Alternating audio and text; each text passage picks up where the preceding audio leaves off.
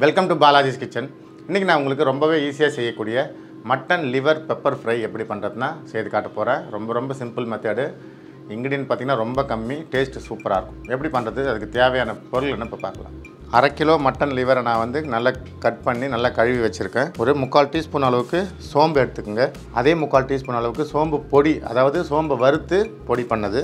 ஒரு ரெண்டு பச்சை மிளகா ஒரு ஸ்பூன் கருப்பு மிளகுத்தூள் அரை ஸ்பூன் வந்து சில்லி பவுட்ரு சில்லி பவுடர் உங்கள் காரத்துக்கு தகுந்தாற்போல் நீங்கள் கூட்டிக்கவோ குறையவோ செய்யலாம். கொஞ்சம் கருவேப்பிலை கருவேப்பிலை இது கண்டிப்பாக வேணும்.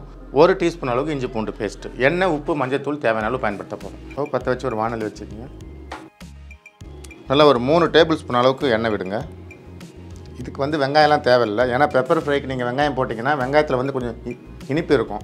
அந்த இனிப்பு வந்து லிவரில் வந்து ஏறிடும். அதனால் டேஸ்ட் மாறும். அதனால் நான் வந்து வெங்காயம் சேர்க்கலை. முதல்ல இந்த சோம்பு சேர்க்குறேன். அடுத்து ரெண்டு பச்சை மிளகா கொஞ்சம் கருவேப்பிலை.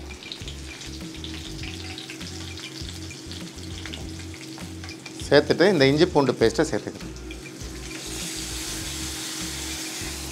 இந்த இஞ்சி பூண்டு பேஸ்ட் நல்லா ஒரு ஒன்றரை நிமிஷம் மீடியம் ஃப்ளேமில் நல்லா வதக்குங்க.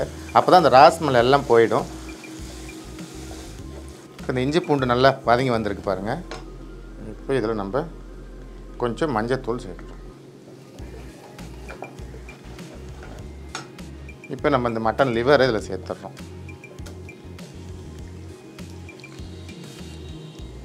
தண்ணிலாம் நல்லா இருத்துட்டு போடுங்க.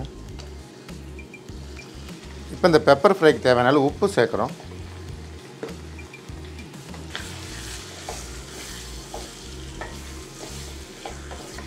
உங்களுக்கு லிவர் கொஞ்சம் தண்ணி விடும். அதனால் இது நம்ம தண்ணிலாம் சேர்க்க தேவையில்ல. நல்லா வதக்குங்க. இப்போ நம்ம வச்சுருக்கிற சில்லி பவுடரை இதில் சேர்த்துருங்க.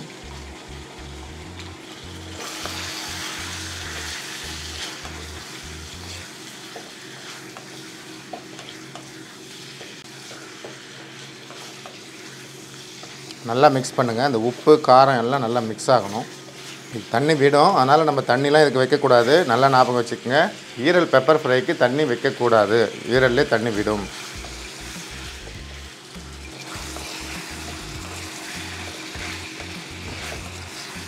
நல்லா மிக்ஸ் ஆகிடுச்சு கிட்டத்தட்ட நான் வந்து ஒரு அஞ்சு நிமிஷமாக இதை நான் வந்து வதக்கிட்டு இருந்தேன்.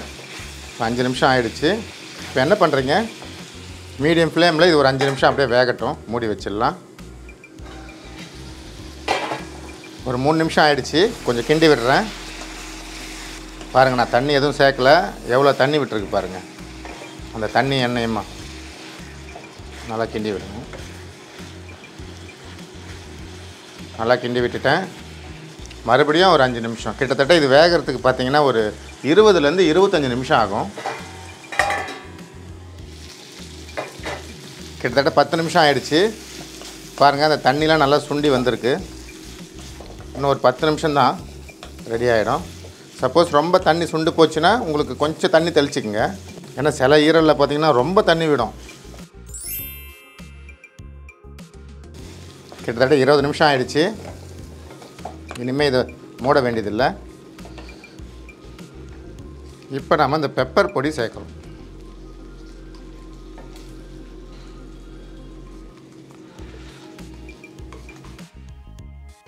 அடுத்து சோம்பு நம்ம அரைச்சி பொடி பண்ணி வச்சுருந்தோம் இல்லையா வறுத்து. சோம்பு. இது நல்லா மிக்ஸ் பண்ணுங்கள்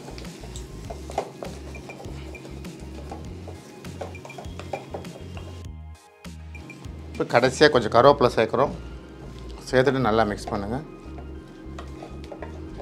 பாருங்கள் கலர் எப்படி இருக்குது பாருங்கள் பெப்பர் ஃப்ரைனால் இப்படி தான் வரணும் கரெக்டாக பக்குவம். இது கிட்டத்தட்ட எனக்கு இருபது நிமிஷம் மேலே ஆகிடுச்சி இருபத்தஞ்சி நிமிஷம் ஆகிடுச்சி ரெடி ஆகிடுச்சி இது. அவ்வளோதான். அப்படியே இதை பிளேட்டிங் பண்ணிடலாம்.